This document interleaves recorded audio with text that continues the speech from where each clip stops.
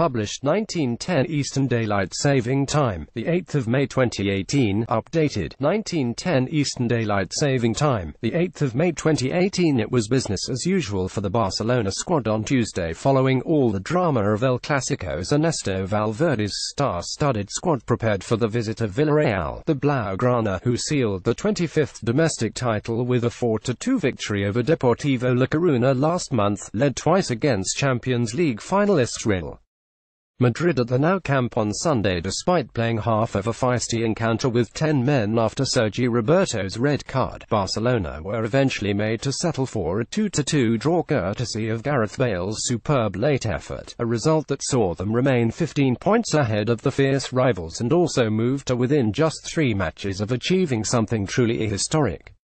Lionel Messi will hope to fire Barcelona one step closer to the history books on Wednesday. And Ernesto Valverde is looking for his side to maintain their consistent form against Villarreal. No team in the modern 38-match era has gone an entire La Liga campaign unbeaten, though this current crop, undefeated in 42, will achieve just that if they avoid defeat in further home fixtures against Villarreal and Real Sociedad, and an away clash with Levante. Speaking at his pre-match press conference, Valverde, who refused to comment on speculation regarding a move to Catalonia for Antoine Griezmann amid reports of a meeting between the French forward and Atletico Madrid president Enrique Cerezo, encouraged his team to maintain the high standards. We carry on with the intention of winning the games we have left and staying competitive, he said, to the press association.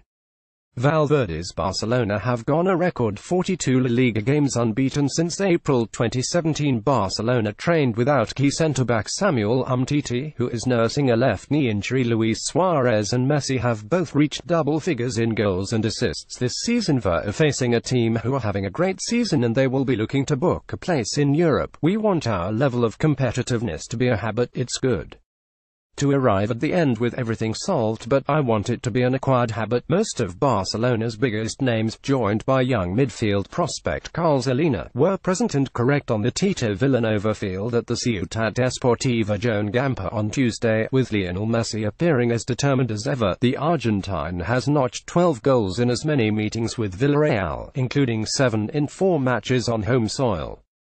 However, Samuel Umtiti was absent due to a left knee issue and will play no part against the sixth-place Yellow Submarine, who have won each of their last three matches.